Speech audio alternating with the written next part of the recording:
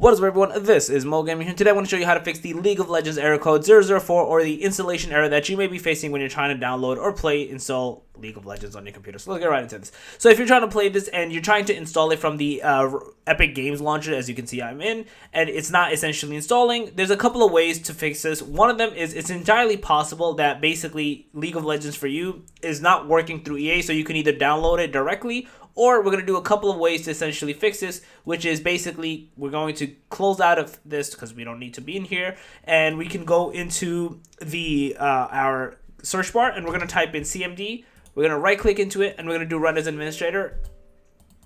It's entirely possible that you are basically downloading this and then there's like a connection error happening, hence why there's an installation error. So you want to do basically ipconfig slash, oops, config slash flush DNS. We want to basically uh, flush the DNS, DNS resolver cache. This is one of the ways to essentially fix like some of these installation errors that you may be happening. And the next thing you want to do is go to your search bar again and write network connections and have this open up.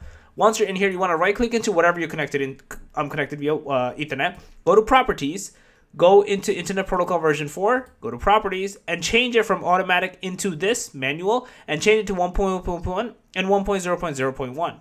You basically want to press OK, close it out, turn Epic Games Launcher back on, or again, I'll leave a link in the description below, download LOL directly to basically be able to play the games, and then kind of go from there. If it is installed, but it just doesn't successfully install. It's also entirely possible that the game itself is corrupted. So there's two ways to essentially fix this. So we're gonna go back into Epic Games. Oh, apologies, Riot Client, not Epic Games. I I get confused. There's like three, four players that I have. We're gonna go back into Riot Client or Riot Games. We're gonna go into League of Legends.